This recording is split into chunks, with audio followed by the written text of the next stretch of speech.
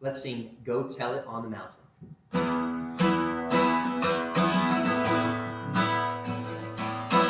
Go tell it on the mountain, over the hills and everywhere. Go tell it on the mountain that Jesus.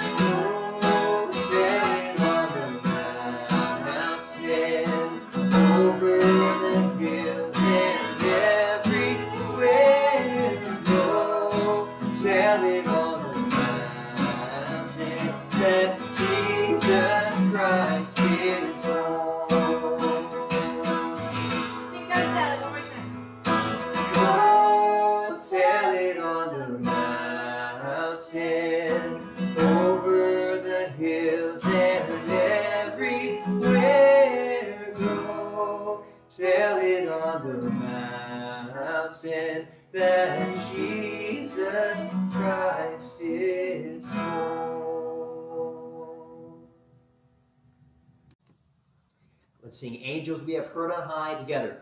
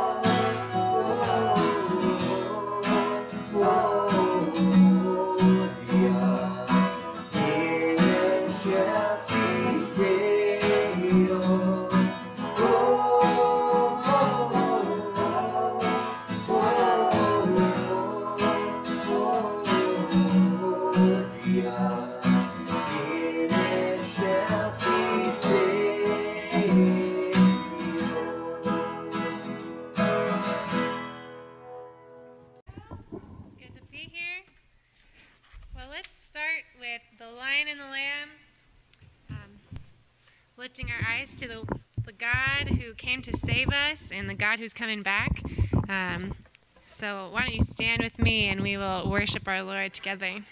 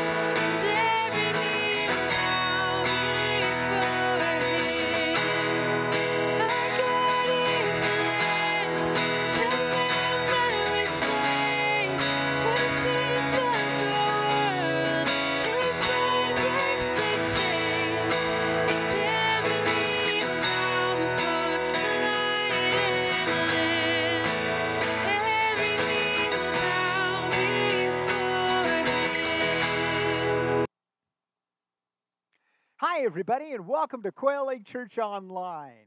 It's great to have you with us, and we're going to do something a little bit different. If you look behind me, yeah, that's not Vacation Bible School, that's church. And this Sunday, we are going to be celebrating Christmas in July. That's right, it was 110 degrees when I was driving out here, and we're going to celebrate Christmas. And we'll show you how we'll do that. But let's pray first.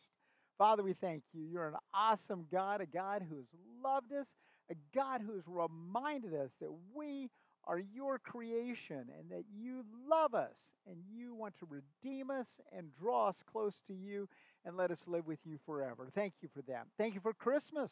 Lord, it's hot.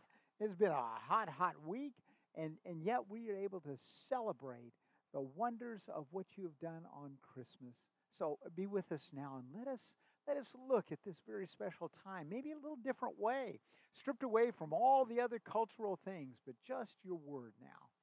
So, God, we look forward to meeting you and ask that you will teach us and encourage us. And Father, give us some Christmas inspiration. And we pray it in Jesus' name. Amen. When I was in grammar school, we uh, were, uh, my folks were involved in the American Field Service, which was working with uh, foreign exchange students. And one of the things they did with the students was they would have a family that they lived in from some other country, and they would come to America and live with the family. But to give the family a break, they would remove them from that family, move them somewhere else so they could see another part of the country or the area, and then, you know, give the family a couple weeks a breathing room. That was just kind of a thing they did. Well, we had a wonderful young lady. Her name was Anne, and she was from New Zealand. And we learned a lot about New Zealand. She became a family friend forever to us, and we just all loved her. But one of the things that was amazing was she told us about how they celebrated Christmas in New Zealand. We were anxious. Okay, is it different from here? She said, Oh, no. What we do is we wake up early on Christmas morning and we open up our presents and then we take down the Christmas tree. And I thought, What do you, take down your Christmas tree? What do you mean? Well, we take it down and put it in the car and then we drive to the beach. And everybody t- brings their Christmas trees to the beach. We set them up there and we look at each other's trees because Christmas is in the middle of the summer down in New Zealand not in the wintertime. And I've thought about that, and I thought, yeah, that is different. So often we think that Christmas is cold and sleigh rides and all that. I've never been on a sleigh ride or any of those things. That's part of the culture of it. So, what if we look at the Christmas story in a whole different way? And maybe we will get a little that feeling of cool if we just, again, take a deep breath and go to Christmas. You know, it was. Uh, it was 202 days ago that we celebrated Christmas. And it's only 164 more days until Christmas Day. So get ready for it and let's prepare by looking at the scripture. And the scripture starts off this way. It's Luke chapter 2, one that I always preach on on Christmas Eve. So let's pretend like it's cold, it's Christmas coming up, and it's Christmas Eve. And it goes like this it's the King of Kings being born. At that time, the Roman Emperor Augustus decreed that a census should be taken throughout the Roman Empire. This was the first census taken when Quirinius was governor of Syria. All returned to their own ancestral towns to register for this census. And because Joseph was a descendant of King David, he had to go to Bethlehem in Judea, David's ancient home. He traveled there from the village of Nazareth in Galilee. He took with him Mary, to whom he was engaged who was now expecting a child. And while they were there, the time came for her baby to be born. She gave birth to her firstborn son, and she wrapped him snugly in strips of cloth and laid him in a manger because there was no lodging available for them. You know, if you play chess, if you play chess and you're familiar with the, with the pieces that are out there on the board, you have everything from the lowly pawn to the kings, you know, on your chessboard. And if one of your pawns gets captured, and you say, well, it's not that big a deal, but if the king gets captured, it's over with. It's done. And the pawns have uh, very little power usually, and they're used to be sacrificed for other things and all of this, and clear the way for the more important pieces, the knights or bishops or queens, that kind of thing. But their movement's limited when you compare it to other pieces because uh, that's the one piece you want to protect your king at all costs. And that's the way it is in life, also, isn't it? People want to be a king, but nobody wants to be a pawn.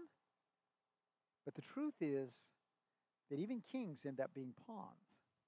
And one of the pawns in God's story is a man named Caesar Augustus. Caesar Augustus he was the emperor at the time. In Luke chapter 2, verse 1, in the King James Version. I want you to hear it in this. It says, And it came to pass in those days that there went out a decree from Caesar Augustus that all the world should be taxed. We're coming up on Christmas here. God is setting it up. Did you know that there are 31,102 verses uh, in the Bible? And do you know when God first starts talking about Christmas? Verse 71. Out of 31,102, verse 71, he begins to talk about the promise of Christmas, his plan for our sin problem. Now, the rest of the 31,031 verses are God's plan being worked out in the church and, and the redemption and all of this stuff for the human race. And as Luke begins to unfold his, the historical events that are both the birth of Jesus Christ, but the other things around it, we're reminded we're looking at two different kings, two different worlds. And it starts with someone who had been seen as a key historical figure of that time. His real name was Octavian. His great uncle was Julius Caesar. He was officially adopted and was, uh, was Julius Caesar's official heir.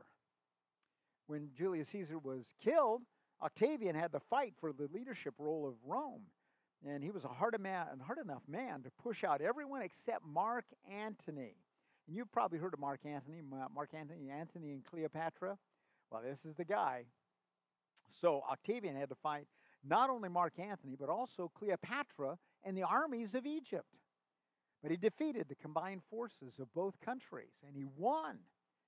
And when he won, he had absolute power. And he ditched his old name and took on the title of Caesar Augustus. And the world that God made his physical entry into was different from what it had been.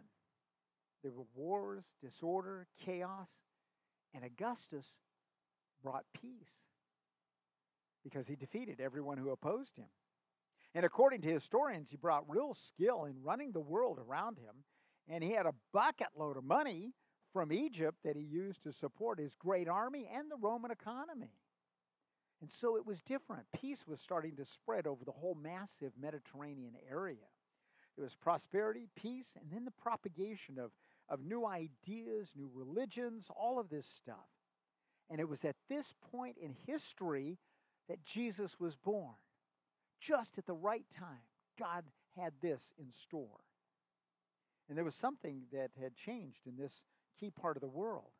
It was Rome itself. You see, Rome had been a republic, a nation governed by laws, and people of different ideologies uh, worked together in this nation. But with Augustus, it all changed. It was now an empire, and he was the emperor. You know, kind of like Star Wars, huh? Yeah, we got the evil empire going here. He was called Augustus. Now, that was key because nobody had been called Augustus before this. The word had only been used to describe holy objects, holy places, and even divinities, different gods they had. But he took the title. He said, This is going to be my name. What he was doing was he was placing himself above all other humans. And he did bring peace and order, but it was at a price, and the price was freedom. He was the Savior. He had saved and redeemed the Roman world, the empire. People said it wasn't enough. Political saving isn't satisfying our hearts. And so, with his power, though, he had the whole Roman Empire counted. Counted. He to know how many people we had out there.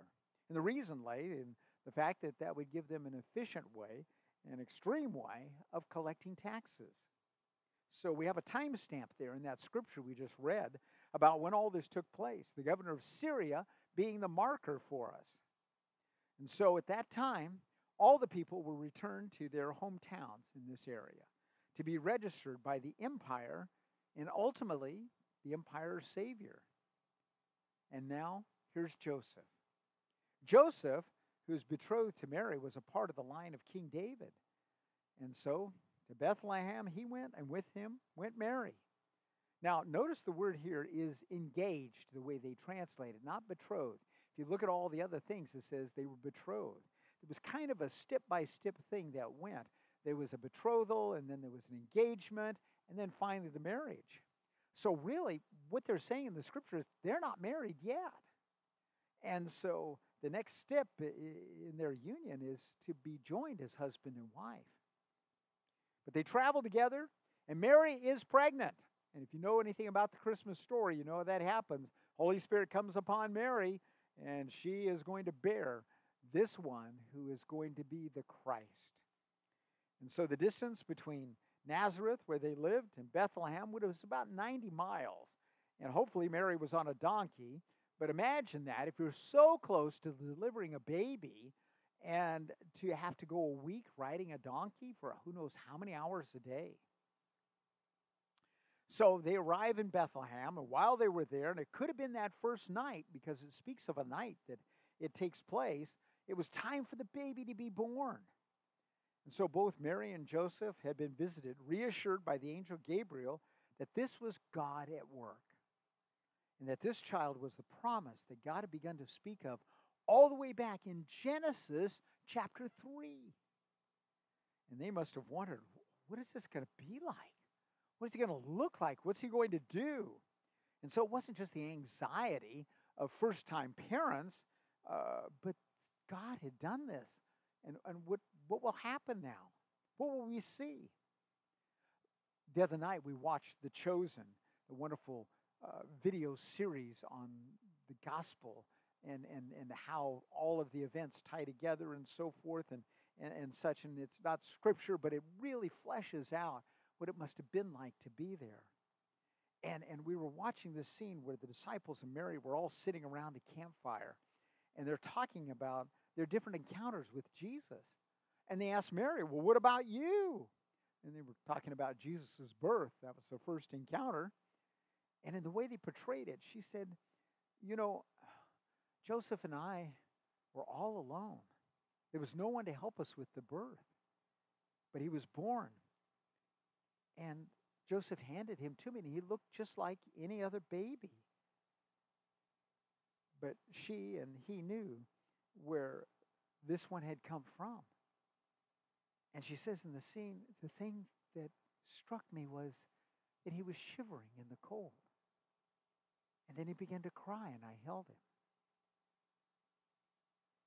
And there is, and I hate to use this word, but I, I, it fits for me. There is the magic of this moment of Christmas. The God who'd put all the galaxies in the deepest parts of space that we can only imagine had created life, life as we know it, was being held by human hands because he became one of us. And the new world that will eclipse this world began with a poor young girl holding her baby in a stable. Augustus was in his palace in Rome, but the King of Kings, to whom every human that has ever existed will bend his or her knee in subject and adoration to, had come. And nothing would ever be the same again for humans on earth. So, who's going to hear the news that the king has come and who will make that announcement? Well, we're going to find that we're going to go now to the lowliest of the low. From kings to the last people on the ladder. Verse 8. That night there were shepherds staying in the fields nearby, guarding their flocks of sheep, and suddenly an angel of the Lord appeared among them, and the radiance of the Lord's glory surrounded them. They were terrified, but the angel reassured them. Don't be afraid, he said. I bring you good news that will bring great joy to all people. The Savior, yes, the Messiah, the Lord, has been born today in Bethlehem, the city of David. And you will recognize him by this sign. You will find a baby wrapped snugly in strips of cloth lying in a manger. Suddenly, the angel was joined by a vast host of others, the armies of heaven, praising God and saying, Glory to God in the highest heaven, and peace on earth to those with whom God is pleased. Well, Luke, as the historian here, he jumps from the manger scene where Jesus has been wrapped in strips of cloth, laid in the manger, and his first moments out in the open on earth is that uh, is, is that his creation by what the Bible says. And here on this dark and quiet night, with the sheep doing what sheep do, they have guardians, guardians who are watching over them, shepherds. And the shepherds are there. It's dark, almost silent. The shepherds, they're a different group of people. They're really distinct from everyone else in this society. They are here watching over who knows how many sheep, but why here in Bethlehem? What's going on? Well, the sheep, the lambs, were used as sacrifices in the offerings that were made to God for the people's sins, and especially at the Passover. Bethlehem's only about five miles from Jerusalem. So it was an easy way to transport all these, all these animals into Jerusalem itself for the sacrifices. And so the possibility is there are a lot of sheep here and a good number of shepherds here. And the reason is that this may be, have been the holding pin, if you will, for the ceremonies that were to be held in Jerusalem and especially at the temple. So the shepherds are guarding these sheep that are to be used to placate God for the sins of the people. Now, that was a huge part of the belief system that they had. But here's the catch to all this. Because these guys, these shepherds, were out here among the sheep all the time, they were seen as unclean by the religious leaders. So they're providing safety for the sacrifices, and yet they are not worthy to walk right into the temple or do any of the religious things that others will do because they have been declared unclean, because they're tending the sheep. Well, maybe it was because of this separation from the rest of society, or maybe there was just something else that, that caused this, but shepherds were a tough, rough crowd and, and not a favored part of the culture either. It was said that they had trouble keeping their hands off other people's property. So here are hard men with a tough, demanding job, camping out in the fields with the sheep, seen as unclean by the religious leaders, seen as untrustworthy by the people. And so God chooses these men. Besides Joseph and Mary, these will be the first humans to ever know that the Messiah is born and the first to see him. Now, we're going to pull back the curtain of heaven just a little bit to let them know what a big deal this really is. Why shepherds? Why did it have to be shepherds? Because of what the messenger from God, the angel, will say to them. In verse 10, don't be afraid. I bring you good news that will bring great joy to all people, even shepherds. That joy will be brought to all people, but not everyone will embrace or even acknowledge that joy. And so, back to that dark and quiet night, they're huddled by a fire, listening for any different kind of noise that would mean the sheep were in jeopardy. And then, out of nowhere, with no warning, an angel of the Lord appeared and watched for it, because so often we read this differently. He was among them, not in the air flying over them, right there in their midst. He wasn't there, then he's there. Now, don't forget the darkness was something these people and all those before them had lived with at night. They had fires and oil lamps and candles, but that's all they had. But this angel just appears, and then there is a bright light. It says, The glory of the Lord surrounded them. It's all lit up. It wasn't from the angel, but from God. And it surrounds the shepherds, and they're in the center of it. And, and then if you go back to the Greek, I, I went back to take a look at this. It says in our translation, they were terrified, but I went back to the Greek and it, and it says, it has three words. They were frightened, and then it says, mega frightened. It uses all those three words frightened, mega frightened. It was trying to tell us they were so scared. They were frightened with big alarm. It wasn't these guys saying, Oh, what a heavenly light we see tonight. They're all figuring we're going to die right now, right here. And this one among them, we call an angel, his job is messenger, messenger of God. And like all encounters with angels, the first thing they say to us is, Don't be frightened. Don't be frightened. I don't know what they look like. But these guys, they're really afraid of what they just saw. Now, greeting card companies have told us and tried to make us believe that angels really are fat babies with wings wearing a diaper, and they have bows and arrows that flutter down to us on rare occasions to spread love and joy. I'm betting from the reaction that it's nothing like what they are. God is called the Lord of heaven's armies. And now armies are coming. These are his soldiers. And he, he speaks that his mission is to announce good news. And as a matter of fact, it's called big news. I've got big news for you. Boys, I'm on a mission for God, and I've got big news. And it's for you all, for all the people. The people, that's what he's recorded as saying. For the people of earth now, for tomorrow, for next year, for 2,000 years from now, however long it takes. It's for them. Ever since the third chapter of Genesis, less than 100 verses into the Bible, that promise was first made. Now it's come true. It's here. This is what you and really all of humanity has been waiting for. The deliverer, the anointed one. That's the word Christ right there. And he's down there in the town of David, Bethlehem.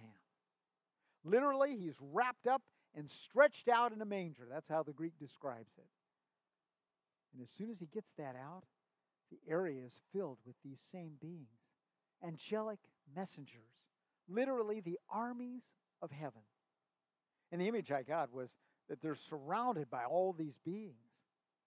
And, and you know, so often when we when we look at things like that or they portray it, the angels begin to sing and so forth. It doesn't say that. It says they spoke, they didn't sing. They began to chant. Glory to God in the highest heaven and peace on earth to those with whom God is pleased. I don't know how long this lasted, but it says eventually they returned to heaven. They faded or marched right back into the dark of the sky, however that works. And no one is left except shepherds. And so now the outcasts head out. The outcasts head out. Verse 15 When the angels had returned to heaven, the shepherds said to each other, Let's go to Bethlehem. Let's see this thing that has happened, which the Lord has told us about. They hurried to the village and found Mary and Joseph, and there was the baby lying in the manger. And after seeing him, the shepherds told everyone what had happened and what the angel had said to them about this child. All who heard the shepherd's story were astonished. But Mary kept all these things in her heart and thought about them often. The shepherds went back to their flocks glorifying and praising God for all they had heard and seen. It was just as the angel had told them. And then it ends this way. Eight days later, when the baby was circumcised, he was named Jesus, the name given him by the angel even before he was conceived. Have you ever been in a dangerous situation? Uh, a fire, a tornado, hurricane, a car accident, maybe an explosion. You know, everything's happening, there's noise everywhere, and then it's over. And do you know what happens when it's over? And especially if something happens suddenly like that, there's that eerie silence. I mean, it's almost a deafening quiet that, that is just overtakes the whole situation. And your first instinct is to look around and see what's changed, make sure you're okay, everybody else is okay too. And that's probably what the, what the shepherds were doing. Checking to make sure everybody survived this blast of heavenly announcements because they have been notified as to how they can recognize him. This anointed one, the Christ, the Messiah. He's wrapped up in cloths, swaddled, lying in a manger. Not going to be too many of them around tonight. God has done all this for us, they must have thought. We shepherds. He sent his soldiers to tell us we got to go to Bethlehem. So they leave the sheep. You see, their number one mission is stay with the sheep. No matter what, you stay with the sheep. And they leave. And they all go to Bethlehem. Now, Bethlehem's not a big city, it's a little town. They go from place to place, checking in all the areas where animals might be kept, because these are guys who make their living with animals. They know about animals. They know what to look for. Who knows? They were probably in 4 H as kids, too. But here they are. They're going from house to house. And then they see it. Maybe it was in a cave uh, or maybe a basement. They sometimes would dig out kind of an open basement where they'd put the animals under the house. And there is Mary and Joseph and the baby. Now, did you notice that it says it's Mary and Joseph and the baby? There's no name. Doesn't say it, but I bet they talked like crazy about the invasion of their camp that night, everything that was going on, and then they couldn't help themselves. They told everyone who would listen to them. And people were just stunned at what they heard. And then we find out how we all know these details. It says God gave Mary the gift of, of memory. Well, it doesn't say that, but she was the one who remembered all the details of how God became flesh and dwelt among us. She kept those memories. And I bet every time she would think about them, she would shake her head and wonder and awe thanksgiving. But the shepherds, we never hear from them again. They went on their way, and these guys who were considered outcasts by the religious leaders, they were the first to worship, to glorify, to praise God for everything they had heard and seen because they knew in their hearts, they knew that the God of creation had told them first. Then there's kind of a postscript, a PS to this letter here to us humans. And it says, Over a week went by. It was eight days. And then they went to have Jesus circumcised according to the religious law. And then they did the last recorded duty assigned to them by heaven. It was the last thing that they were supposed to do. They were to name him Jesus. And at that time is when the name was given. And from that moment on, he is Jesus, who is the Christ. Jesus, because he will indeed save the people from their sins. Well, that's the story. That's the story of Christmas, even in July. So, what do we take away from Christmas here in July, of all things? Well, three things I've got. Three things have struck me. First, remember that God's got this. What do you mean? Whatever it is, God's got it. He's got it under control. Did you see the first thing that we read today? I want to do it in the King James Version again. And it came to pass in those days. It came to pass. You see, they were waiting, waiting for the Messiah to come, waiting for, for the end of the old world and the new world to begin. All of us are there too. Everybody has something that that we're facing. Maybe it's an illness, a broken relationship, disappointments, discouragement. Everybody's carrying something. When Jesus was born, the people of God were as beaten down as you could imagine. They went to their church every week, they said their prayers every day, gave their offerings and sacrifices every time they went to the temple. And for most of them, there had to be almost this hopeless hopefulness. You know the feeling? Oh, I really believe that God is going to do something. But when? How? With who? Where? What will it look like? The one question we sometimes miss is why? Why is God doing what he is doing? And why is he not doing it? You see, God set up this whole thing for a reason at a specific time. God set up the whole drama of his entry into this finite world. And the Apostle Paul wrote about this in Galatians chapter 4. He said, But when the right time came, God sent his son, born of a woman, subject to the law. God sent him to buy freedom for us when we were slaves to the law, so that he could adopt us as his very own children. And because we are his children, God has sent his Spirit, the Spirit of his Son, into our hearts, prompting us to call out, Abba, Father. You see, what's hidden in the Christmas story is the promise that whatever it is you're facing, whatever it is that you're hungering for, it will pass. It will come to pass. God is still working. Next, when God opens that door you've been longing for, go. Go. I bet there's something in your life that you're really looking forward to, hoping for. You've prayed for it. You'd love to see it happen. I don't know if that's part of God's plan. Uh, we have to fall back on the TV show from the 50s. Remember that one? Father knows best. Well, your Heavenly Father knows best. But you know what?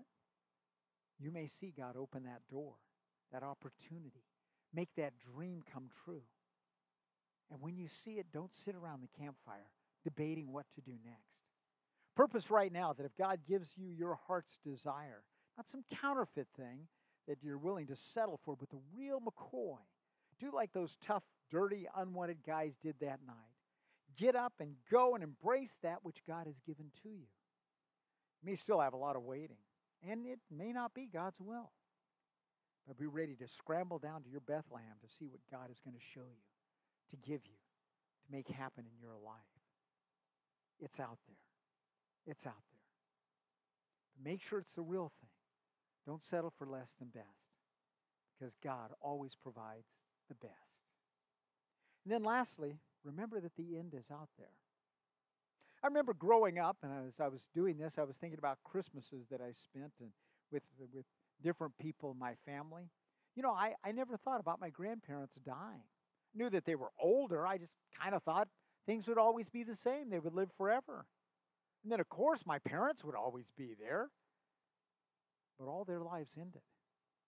You see, life does not go on forever here on earth. And that's good. Oh, what a horrible thing to say. We're talking about Christmas, and you said that it's good that life doesn't end, it doesn't go on forever. Well, tell me. I, I don't tell you. There, there are a lot of things in my body that hurt. Can't be fixed by humans.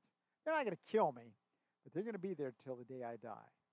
And God frees me from this body, unless the Lord cho- chooses to change it. You see, what you have to imagine is uh, to have the mindset of the TV show American Idol. You have to imagine you're on an episode of American Idol. You know, everybody gets a chance to perform. God is not asking you and me to sing or dance or do magic tricks, but we have the opportunity to do one thing specifically before Him and all of heaven, and that is to believe. That is to believe. Now is our time to do that. And that is always, in every situation, a choice that you make in your heart and your mind. Not just agree with some ideas or ideology, but to believe, to trust, to have faith in this God who proclaims his love for the people of the dirt. Go back to Genesis. That's who we are. We were created by God from dirt. Your audition time is this life that He's given to you and me. And every day we're presented with the opportunity to choose to believe and to trust. And Christmas reminds us that the gift has been given already to the human race. You can accept it or just let it sit in the closet. You accept his offer of forgiveness, salvation once for all. But then you're given days and days where you can open up the gift of faith to trust him. And you, and you, well, you'll walk on the soil that you were made from, knowing that you are so precious that on that first Christmas, God so loved the world that he gave his one and only Son, that everyone who believes in him will not perish but have eternal life. For God did not send his Son into the world to condemn the world, but to save the world through him.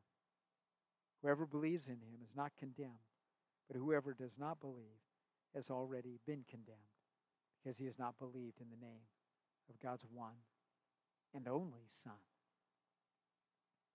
So here we are. It is July, and I want to be the very first to wish you and yours a very Merry Christmas. And we'll celebrate it again in about 163 days. The miracle that God has brought about in history so that we might live with him forever. Let's pray. Father, thank you. Thank you for letting us just do something different today, to look at your scriptures in a, in a different time frame. And Father, to, to look again, to see what a wonderful thing you have done. The redemption of human beings, of all of us. You created us, you made us, you set us loose, and we blew it. And then, God, you reached down and you said, I knew this was going to happen. So I got plans for you folks. And this was your plan from before all of creation was even there. Thank you for that. Thank you for Christmas. And I pray that we'll be like Ebenezer Scrooge, who, when he had that meeting with, really with you in a Christmas story, that he kept Christmas in his heart all year round.